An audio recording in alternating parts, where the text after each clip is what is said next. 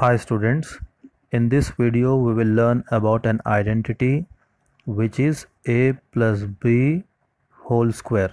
Alright, a plus b whole square. Alright, let us see what does a plus b whole square is. What is a plus b whole square? We will see that. Alright. Now, for example, if we have 3 square, okay if we have 3 square what does it mean? It means we should multiply 3 into 3 isn't it? So 3 3 is 9 so 3 square is equal to 9 isn't it? Now in the same way we have a plus b whole square. Alright it means we should multiply a plus b and a plus b isn't it? We should multiply this a plus b into a plus b isn't it? Okay. Now let us multiply these terms. A into a will give us a square. A into b will give us ab what is the sign? See the sign of a is plus and the sign of b is also plus. So plus into plus will give us plus sign isn't it so we multiplied the first terms a into a we got a square. Then a into b we got ab isn't it? We are done with a now. Let us multiply b and a. B into a will give us ba what sign? Sign of b is also plus sign of b is plus sign of a is also plus. So we will have plus into plus plus. Now b into b will give us b square. And now signs plus and plus will give us plus only right? All right. Now we have a square plus ab plus ba plus b square. Okay. Now these terms ab and ba they are not different. They are actually same terms ab and ba these two are same terms. So i'll give you one simple example.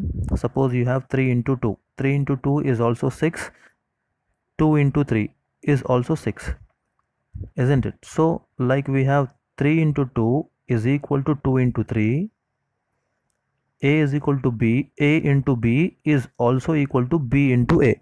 All right. These two terms are same. Ab is same as ba all right.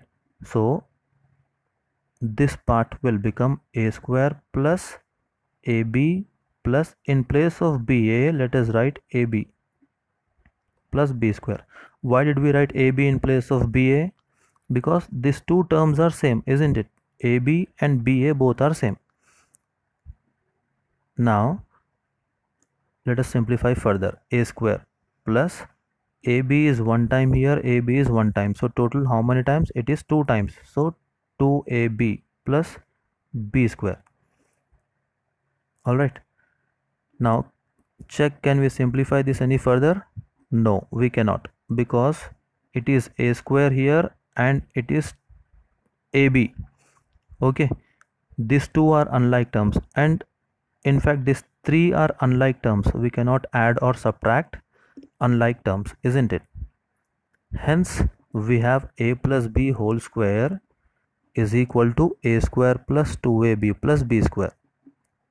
All right okay what do we have? We have a plus b whole square is equal to a square plus 2ab plus b square. All right now what i have observed is most of the students will make this mistake. If they are asked to simplify a plus b whole square they will write only a square plus b square and they will forget this term 2ab alright so remember a square plus b whole square is not a square plus b square. Alright this is wrong. Alright don't forget this 2ab a plus b whole square is in fact a square plus 2ab plus b square isn't it? And some students will also write this as a square plus b square plus 2ab which is correct. All right. This this two these two uh, things are equal. All right. A plus b whole square is equal to a square plus 2ab plus b square or a square plus b square plus 2ab all right. So a plus b whole square is equal to how much? A square plus 2ab plus b square okay.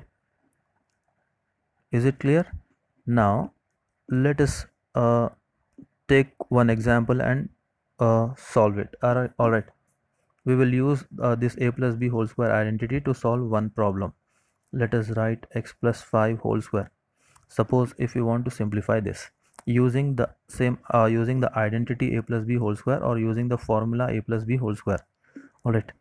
Now what did we learn? We learned that a plus b whole square is equal to a square plus 2ab plus b square isn't it? Okay so we have x plus 5 whole square. So in place of x in sorry in place of a we have x. In place of a we have x isn't it? In place of b we have 5 all right in place of a we have x in place of b we have 5 so this will become x square because in place of a we have x. All right plus 2 in place of a we have x. In place of b we have 5 okay. Write this in brackets. Plus b square which is 5 square. All right so this is equal to x square plus 2x into 5 2 into x into 5 okay first we should multiply the numbers. 2 into 5 is 10 10 and x. So it will be 10x plus 5 square 5 into 5 25 all right. Can we further simplify this? Can we simplify this any further? No we cannot because all these three terms are unlike terms all right. All these three terms are unlike terms. So we have x plus 5 whole square is equal to x square plus 10x plus 25 okay. Is it clear? All right